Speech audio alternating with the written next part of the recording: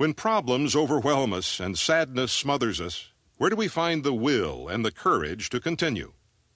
Well, the answer may come in the caring voice of a friend, a chance encounter with a book, or from a personal faith. For Janet, help came from her faith, but it also came from a squirrel.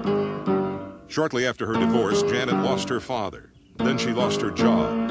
She had mounting money problems. But Janet not only survived, she worked her way out of despondency, and now she says life is good again. How could this happen? She told me that late one autumn day, when she was at her lowest, she watched a squirrel storing up nuts for the winter. One at a time, he would take them to the nest.